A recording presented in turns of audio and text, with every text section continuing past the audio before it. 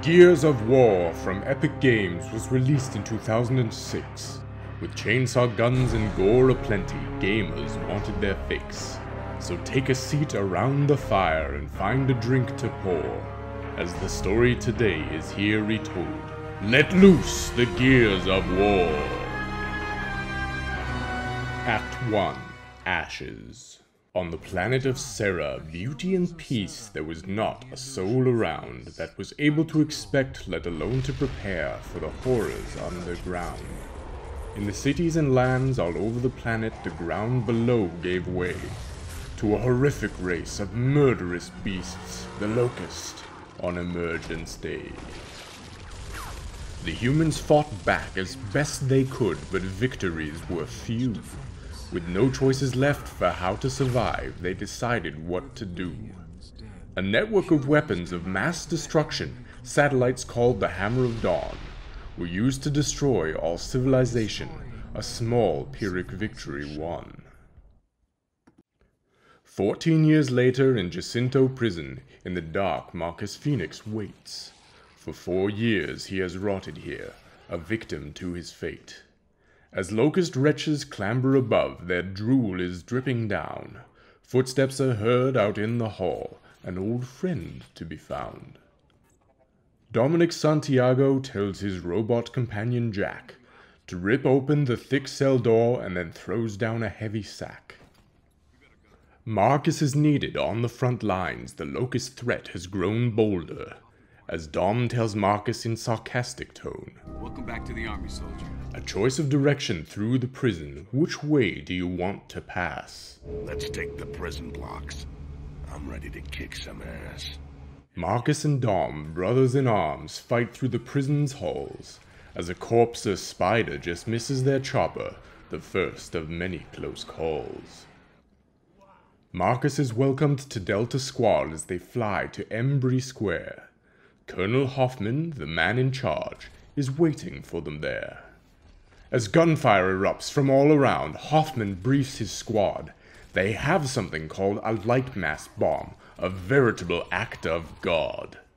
They can kill all the Locust underground, but they first need targeting data.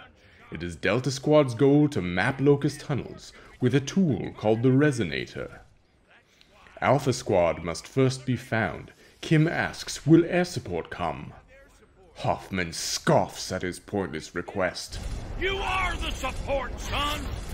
Delta fights on and stumbles across some cog soldiers dead and cold. A device is with them, but the resonator is not, so they garbage it down a hole. Further forward, they press through the hordes, the House of Sovereigns ahead. When Carmine's gun gets jammed in his shot, the first of many Carmines dead. They hold their position against their foe, an ass kicking deftly handed. When down below we meet Augustus Cole in victory grand standard. He's surrounded by Locust, fighting alone, a testament to his name.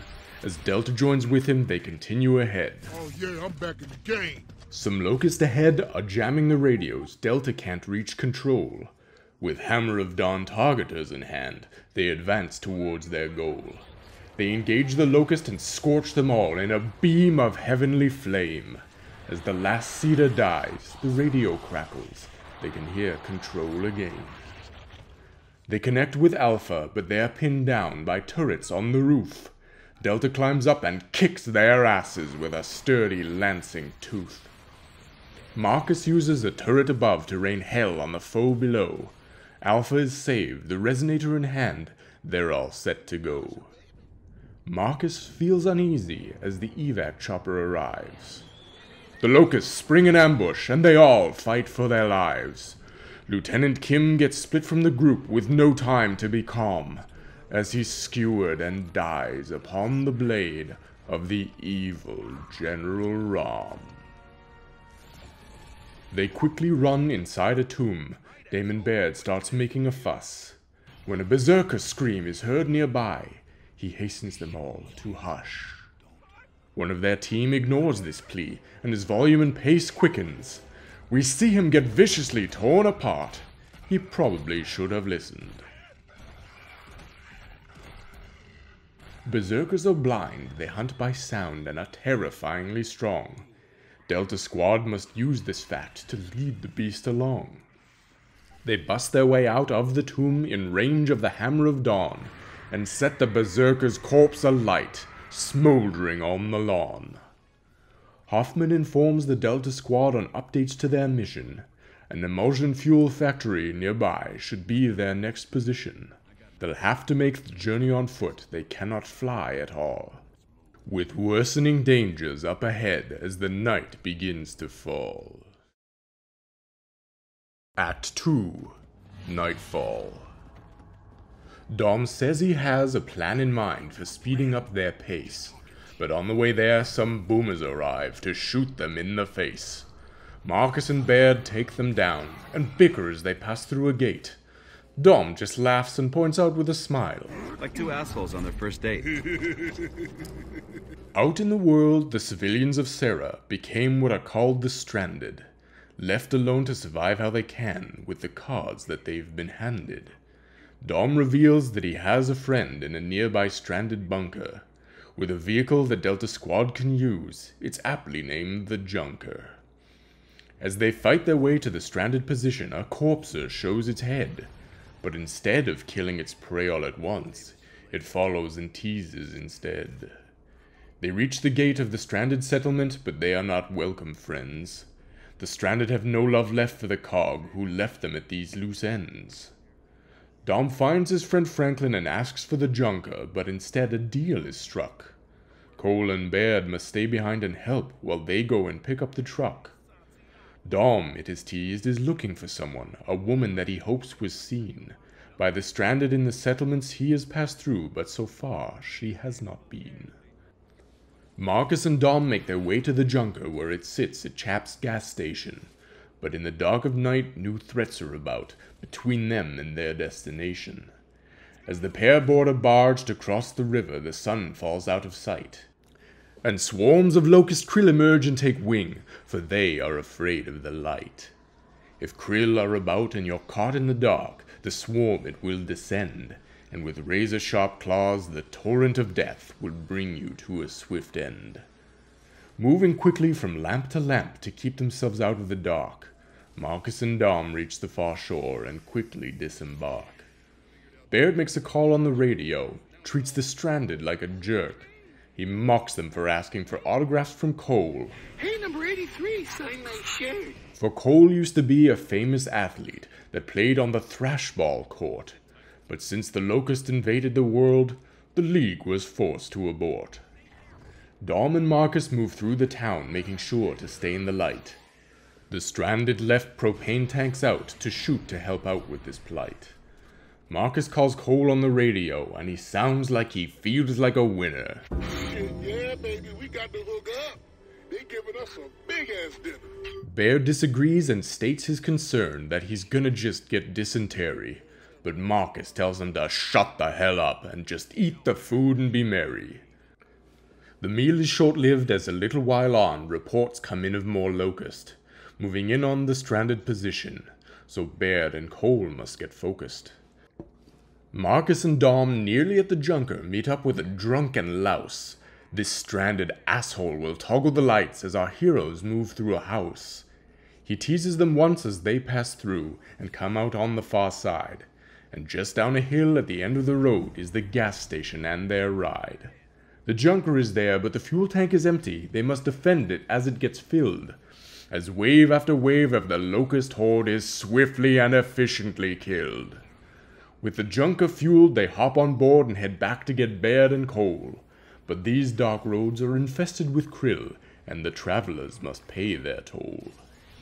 They use a large lamp on the back of the truck to keep all the kryll at bay. But upon arriving at the settlement, an assault is now underway. Delta Squad gathers together again and helps quell the locust advance. Thanks to their presence, at least this time, the stranded are given a chance. With the locust defeat and the junker in hand, Delta leaves the stranded behind.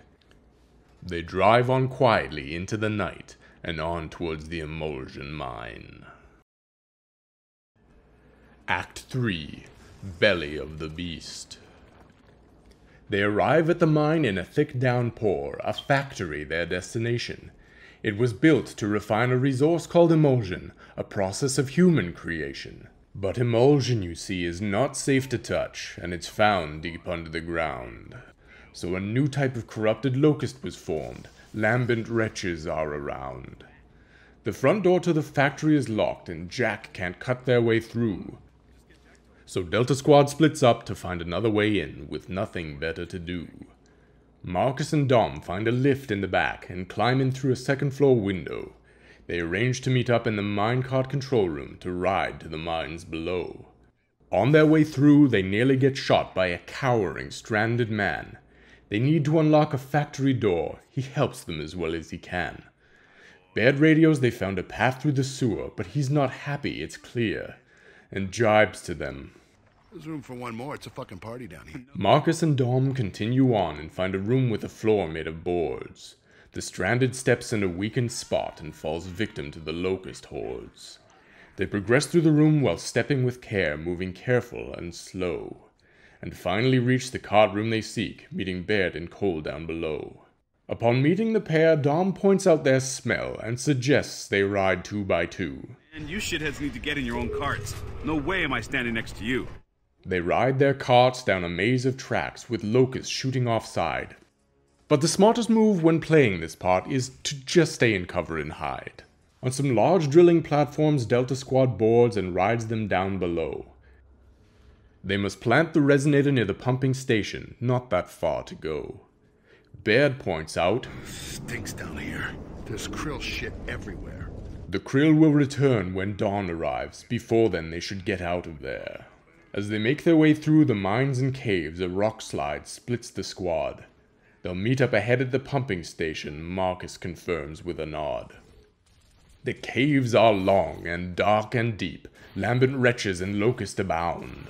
When suddenly a massive corpser drops down from above to the ground. It stands between Marcus, Dom, and their goal. They shoot it to force its retreat. They destroy the supports of the platform it's on, and it burns in the imulsion heat. Meeting up with Baird and Cole, they arrive at the pumping station. It's infested with locusts, Theron guards. It's time for their evisceration. With the platform clear, they set down the resonator and evacuate as it fires. Up on the surface, they radio it in and lay down in the grass overtired. Hoffman calls in to break their reprieve. The resonator pulse was too weak, so the data it gave them was too insufficient compared to what they seek. But Baird on the grass plays with the device that was tossed in the hole in Act 1. He found it down below in the caves, with the chances of that being none. Apparently, the device contains much more detail on the tunnels of the locust grubs. The mapping source is in Marcus' father's house. They must find the data hub.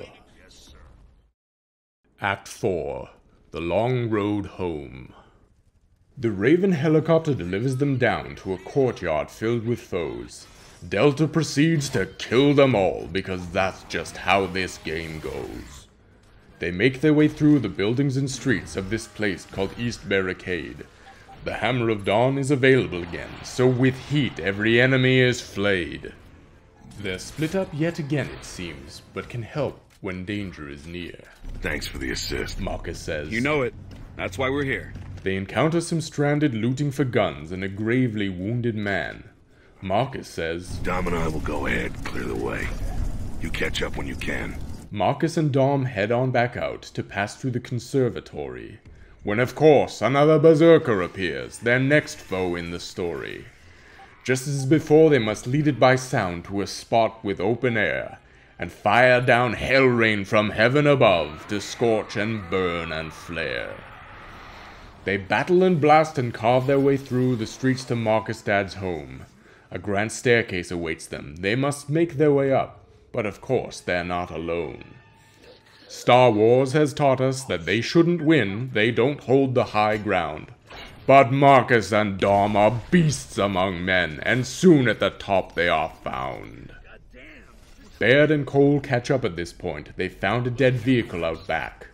Marcus orders them to go round and fix it as him and Dom start the attack. They make their way inside the house and clear it out room by room. Drones and wretches are swiftly dispatched by weapons that go boom. They find a secret entrance down in the wine cellar of the Great Manor.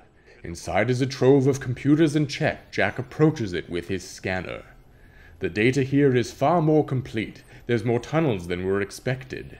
It provides them all the data they need to set where the bomb is directed.